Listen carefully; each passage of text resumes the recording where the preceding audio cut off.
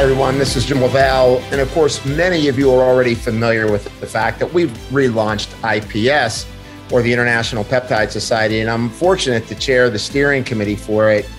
You know, we're really excited about this whole opportunity because what it's done is it's allowed us to bring in the best clinicians that have been using peptides for years now in their clinical applications and practice every day. And they transfer that knowledge on to the students. And I can't tell you how important it is to learn from people that are in the trenches every day, working with people across a broad diversity of healthcare. So we've got experts that are experienced in OB-GYN, endocrinology, internal medicine, um, surgery, so that what you really get is this well-rounded application of how to apply peptides into your practice if that's something that you're really interested in doing.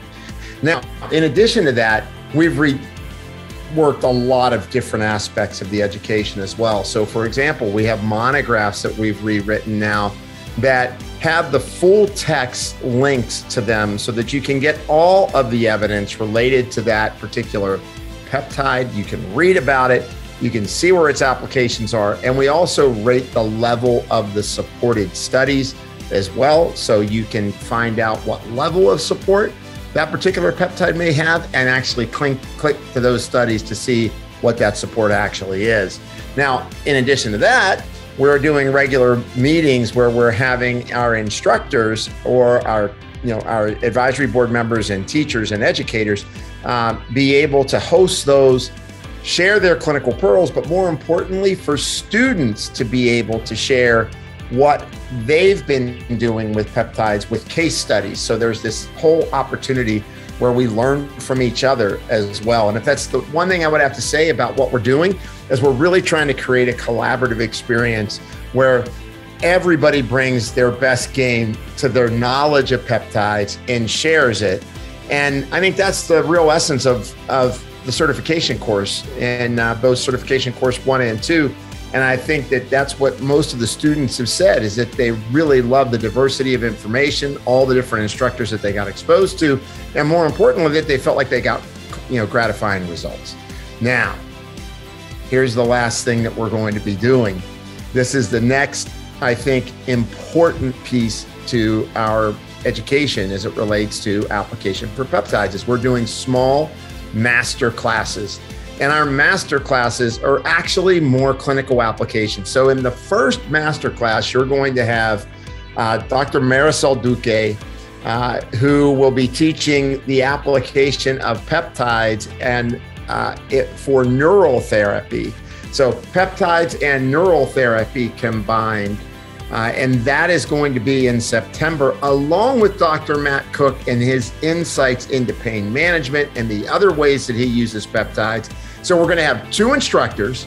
You're going to get them in a concentrated effort in a practical setting where you're going to be doing and working with actually knowing, you know, how to mix them, what to do, where to inject. So it's real live hands-on application that you'll be able to experience in a small group setting. So we're very excited about this. If you haven't checked out International Peptide Society and our new relaunch, I'd invite you to do so. I think you'll find out that it's incredibly collaborative.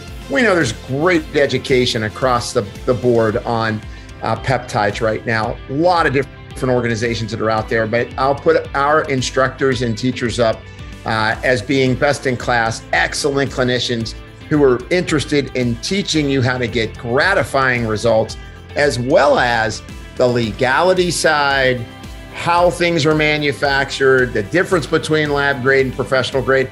And one of my roles is, of course, to teach what are the complementary therapies that go with peptides so that you can get the most out of that peptide therapy, right? So, what nutrients, what herbs, in addition to obviously peptides, as well as the new category of peptide bioregulators. So, I look forward to seeing you. I hope we see you in September and certainly check out our certification course. Have a great day.